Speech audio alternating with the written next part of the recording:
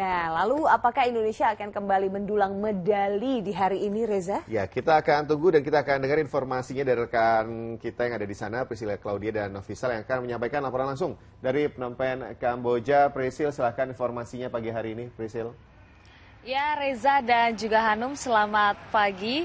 Hari ini masih ada kesempatan untuk Indonesia dan seluruh cabang olahraga yang diikuti atlet nasional kita untuk juga menambah pundi-pundi baik itu medali emas, perak dan juga perunggu. Saat ini uh, Indonesia berada pada uh, posisi ketiga di klasemen perolehan medali uh, SEA Games 2023 di mana total sudah ada 70 medali emas yang diraih oleh atlet nasional kita dan ada 59 medali perak dan 81 medali perunggu. Di mana pada hari Minggu kemarin ini kabar baiknya ada 12 medali emas yang dapat diraih dalam satu hari oleh beberapa cabang olahraga yang diikuti oleh atlet nasional Indonesia seperti basket putri, kemudian ada angkat besi, gulat, fin swimming, dan terakhir ada e-sport.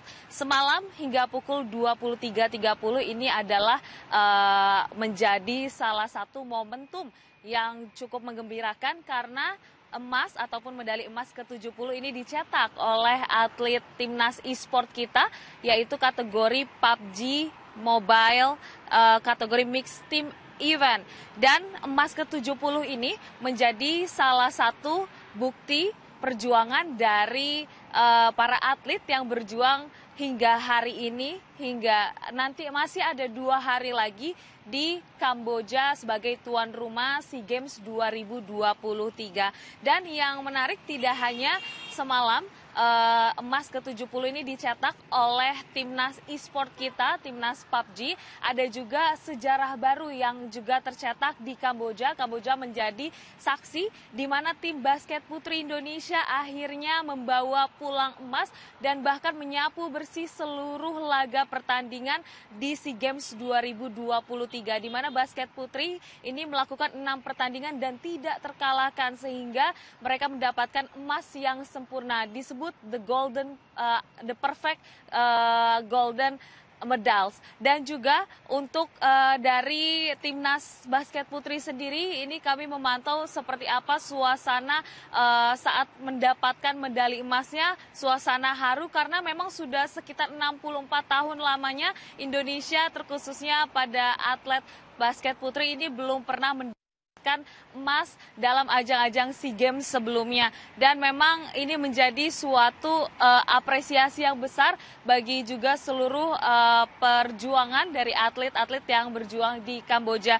Selain itu, perolehan medali emas Kabar baiknya memang melampaui dari target Presiden Republik Indonesia Joko Widodo yang menargetkan 69 uh, medali emas dan sudah ada 70 yang dikumpulkan. Hari ini masih akan berlangsung sejumlah cabang olahraga di antaranya ada 19 cabang olahraga yang akan diikuti oleh atlet-atlet kita dan tentunya ini menjadi kesempatan untuk Indonesia kembali uh, mengumpulkan pundi-pundi baik emas, perunggu ataupun uh, peraknya. Dan untuk mengetahui seperti apa apresiasi pernyataan dari Presiden Joko Widodo, berikut kutipan wawancara.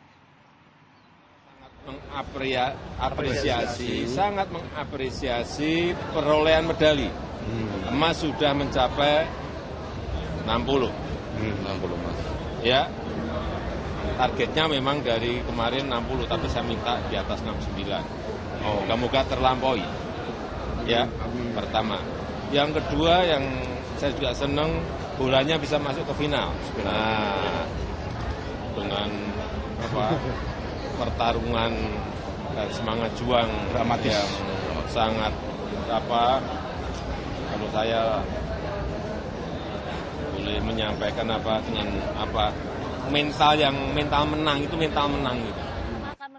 Seperti apa hari ini berlangsungnya 19 cabang olahraga lainnya dan kita sama-sama berharap agar timnas Indonesia ini bisa uh, mendapatkan yang terbaik dan juga memboyong kembali medali emas, perak ataupun perunggu. Dan di antara 19 cabang olahraga yang nantinya akan berlangsung, badminton dan juga basket putra ini sudah memasuki babak semifinal sehingga kita akan masih menunggu seperti apa keseruan lainnya di lapangan masing-masing cabang olahraga. Dan berikut uh, perolehan medali berdasarkan situs SEA Games 2023.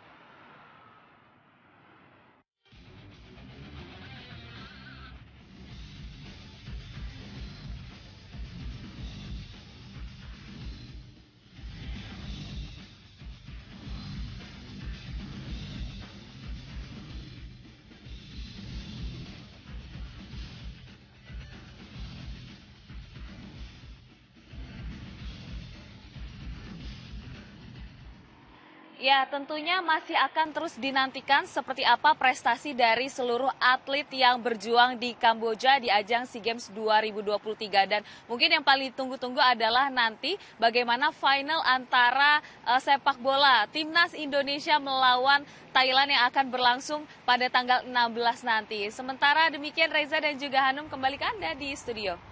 Baik, terima kasih Prisil. Kita tunggu informasi dan kabar bahagianya lagi dari Kamboja. Mm -hmm. Target sudah tercapai 69 emas. Kita harapkan medali emas terus bertambah karena banyak potensi Amin. medali yang bisa diraih lagi. Tadi apa basket? Basket, e-sport, e bola, bola besok juga. final kita Aduh, harapkan ya. Deg-degan ya. Nah,